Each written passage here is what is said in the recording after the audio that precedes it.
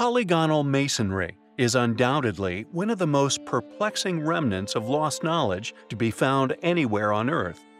Found in every corner of the planet, how these perfectly cut, perfectly placed stone walls were once created, however, has eluded all who have attempted to explain their creation.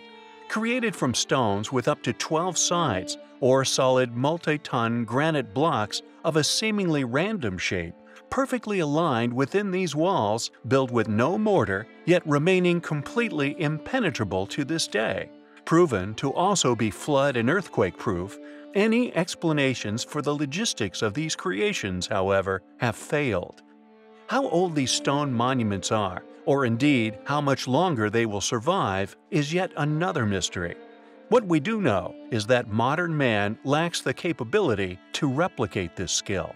A lost knowledge demonstrated via physical ancient ruins, reattempted many times, possibly by other later civilizations, with some rare locations displaying adapted or successfully adopted polygonal or namely cyclopean masonry built at a more recent date.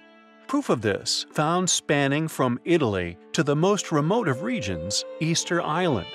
Cotswold stone walls being yet another incredible example of this feat's technique, having been adapted and possibly recreated. Found within the English countryside and claimed to date back to the Stone Age. Its construction, however, uncannily similar in style to those found attached to the original polygonal masonry, found all around the world, their original influence then, very possibly, being that of polygonal walls, yet any evidence for this claim has evaded us for many years. Until we stumbled upon this rarest of sites, found upon private property on the south coast. This is a truly original Cotswold stone polygonal wall, not only proving this ancient civilization did indeed also once dwell upon these isles, but also giving credence to the postulation that these walls, which if laid in a line would wrap around the earth, could indeed have been inspired by this phenomenal, now lost ability. There have been many claims over the years regarding discoveries of the original method of constructing these incredible walls, geopolymers, plants, even the current claim of copper chisels. Yet any explanation sufficient enough to practically explain this feat still seemingly remains lost to history.